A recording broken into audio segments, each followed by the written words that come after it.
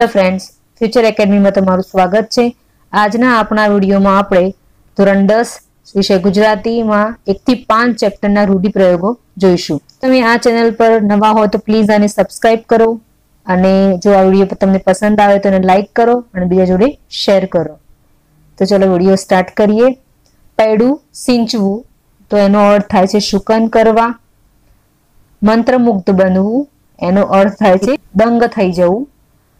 પછી છે, શ્વાસ રેડવો, તો એનો અર્થ થાય છે, દિલથી કામ કરવું.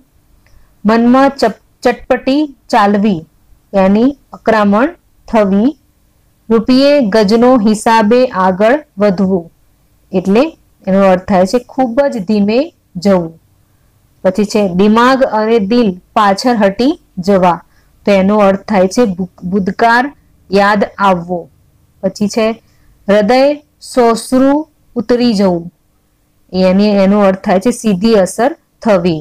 પછી છે દિલ્લગી બંધાઈ જવી, તો લાગણી જોડાઈ જવી.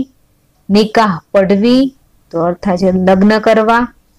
અછો અછો વાના કરવા, એની લાડ લડાવવા. પછી છે ઓછું આવવું, તો મન દુભાવવું તાણા વાનાની જેમ વણાઈ જવું, તો એકબીજાથી ઓતપ્રોત થઈ જવું, ભળી જવું. પછી છે, સપનાને સહારે જિંદગી જીવવી. તો એનો અર્થ થાય છે, સારી આશાએ જીવન જીવવું. પછી છે, અતીતની યાત્રાએ ઉપડી જવું. તો એનો અર્થ થાય છે, ભૂતકાળ યાદ આવવો. નેક્સ્ટ છે, હૃદય વલોવાઈ જવું. તો એનો અર્થ થાય છે, ખૂબ દુઃખ થવું. વ્યથા રેડવી. તો એનો અર્થ થાય છે, વેદના વ્યક્ત કરવી. ડાગરી ચસકી જવી. અર્થ થાય છે એનો, પાગલ થઈ જવું, દાદ આપવી. તો અર્થ થાય છે ગાંઠવું, માનવું, હક લાગો, આપવો. પછી છે તલ પાપડ થઈ રહેવું. તો અત્યંત આતુર થઈ જવું. ધરપત ન રહેવી, તો સંતોષ ન થવો. સોનાના ઝાડ ભાળી જવા. તો એનો અર્થ થાય છે ખૂબ સમૃદ્ધિ જોવી. હા, હૃદય હાથ ન રહેવું. તો એનો અર્થ થાય છે કે હિંમત કે ધીરજ ન રહેવી. પછી છે ચેપ્ટર નંબર થ્રીમાં રઘવાયા થવું. તો એનો અર્થ થાય છે બહુ જ ઉતાવળા થઈ જવું. પછી છે ને ચેપ્ટર નંબર ફાઈવમાં પાપા પગલી પાડવી. તો એનો અર્થ થાય છે ધીમી ગતિએ શરૂઆત કરવી. પછી છે સોપાન સર કરવા. તો એનો અર્થ થાય છે સિદ્ધિઓ હાંસલ કરવી. નેક્સ્ટ છે પાયાના પથ્થર થવું.